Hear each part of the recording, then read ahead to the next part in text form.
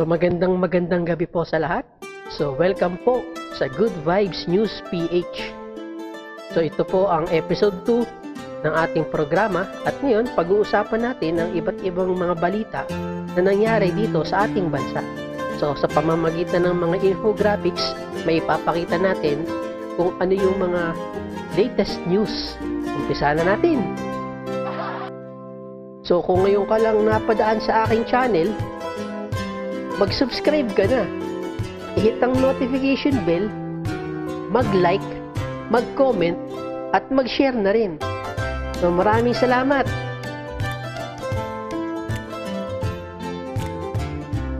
Para sa ating headline, ang ABS-CBN ay kukunin na ang kanyang frequency ng NTC.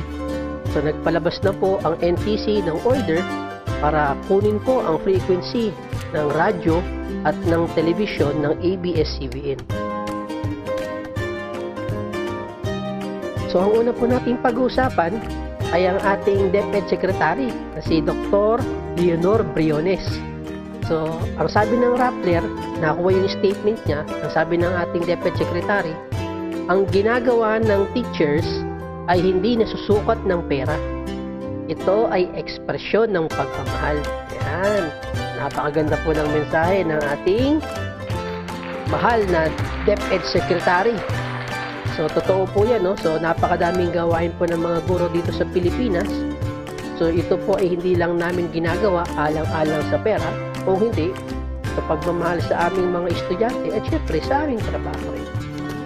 So, maraming salamat po, Dr. Periones, at sa inyong pagmamahal sa mga guro sa kagawaran ng edukasyon. Palakpakan po natin ang Dr. Briones.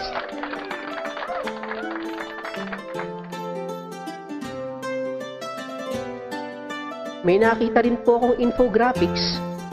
Ito po ay galing naman po to sa Manila Bulletin. Ang sabi po, ang sabi ng DepEd sa mga magulang, hindi na po kailangan bumili ng mga gadgets. No? So magpo-provide po ang DepEd ng mga printed materials.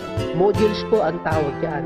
So ngayon po ay binubuo na po ng DepEd, nagpiprint na po ng maraming mga modules para po lahat ng mga estudyante ay mabigyan po ng kanilang kinakailangang printed materials.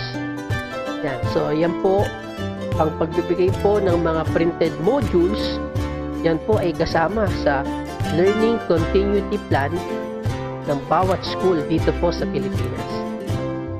Palakpakan po natin ang bawat eskwelahan na nagpe-prepare ng kanilang mga modules para sa kanilang mga estudyante para mapagpatuloy po ang pag-aaral kahit sa panahon ng pandemya.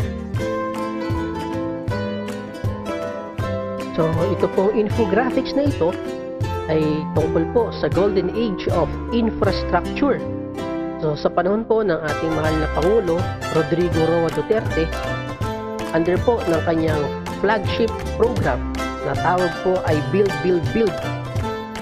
Sa pamumuno po ni DPWH Secretary Villar. So, so napakarami pong nagawa ng mga kalsada, mga tulay, mga buildings, mga classrooms, pati po yung mga modern na transportation system kagaya po ng subway at syempre po marami pong airport na napagawa po sa iba't ibang probinsya dito sa Pilipinas. So palakpakan po natin ang ating mahal na Pangulong Rodrigo Roa Duterte sa pagpapatayo ng maraming infrastruktura dito sa Pilipinas. Bukod po sa makakagaan po ito sa traffic dito sa Metro Manila at sa iba't ibang parte ng Pilipinas, ay nakakapag-generate din po ito ng maraming trabaho para sa mga kababayan natin. So muli, maraming salamat po President Rodrigo Roa Duterte.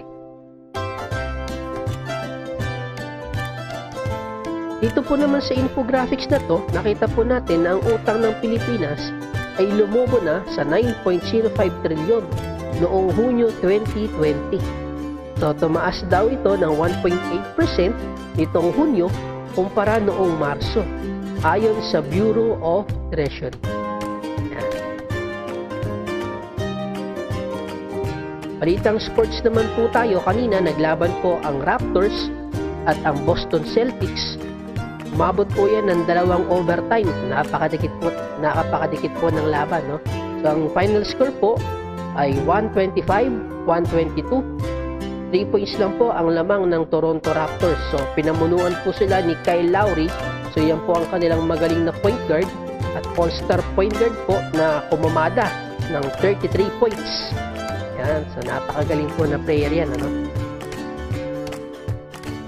Ay bukod po sa Boston Celtics at Toronto Raptors, naglaro din po kanina ang LA Clippers.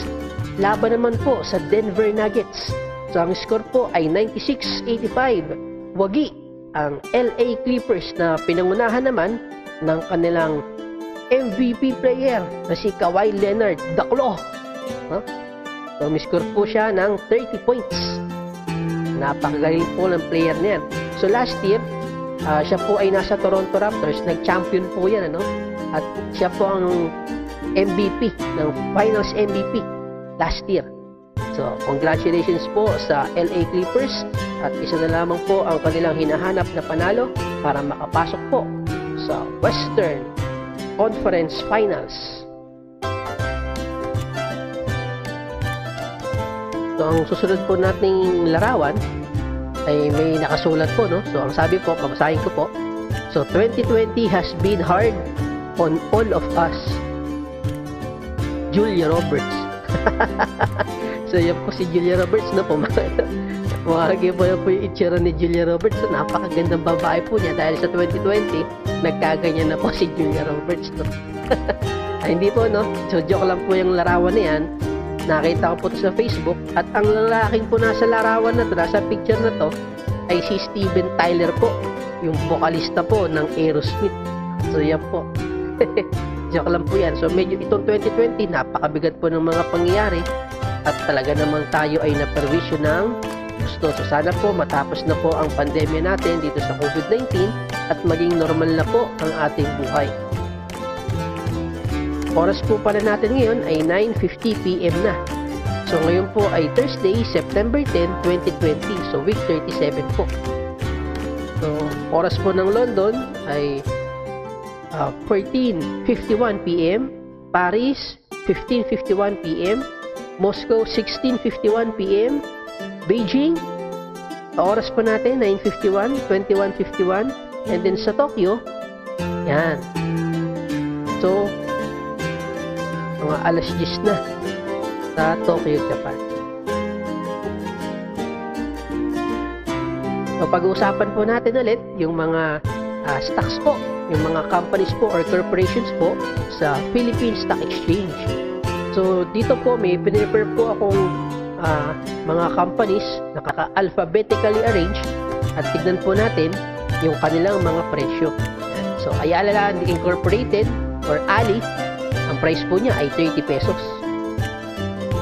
So magagandang kumpanya po ito, no? Nilista ko na po yung magandang kumpanya. Actually, itong mga companies po na ito, corporations na po ito, ay kasama po yan sa aking portfolio. Yan, okay. So next po ay si Aboitiz Power. Ang kanya, or EP, so ang kanyang price po ay 26 pesos and 65 centavos. And then yung ERIT, ang presyo po niya ay 25 pesos and 75 centavos po. Next po, ang BDO, presyo niya ay 92 pesos. Okay, next po natin ang DMCI Holdings na may price po na 4 pesos and 0.05 centavos. Globe Telecom, price ng bawat stock po ay 2,080 pesos ang GMA 7. Ang price po niya ay 5 pesos and 12 centavos. Jollibee Food Corporation, 136 pesos po per share. Manila Electronic Company, or Meralco. So, ang price po niya ay 26 ay ang price po niya ay 268 pesos and 80 centavos. Nickel Asia Corporation, 3 pesos 0.08 centavos. Pure Gold. Ang price po niya bababa po ay 49 pesos and 75 centavos. And then ang Semirara Mining and Power Corporation, Ang kanyang price po ay 9 pesos and 71 centavos. So maraming maraming salamat po sa panonood. Hanggang sa muli, mag-ingat po tayong lahat. So episode 3 po tayo. Bukas mag-upload po ulit ako. So maraming salamat po sa panonood. Huwag kalimutang mag-subscribe, i-hit ang notification bell, mag-comment at mag-share na rin dito sa aking channel na Good Vibes News PH. So maraming salamat po. Kakita-kits po tayo bukas.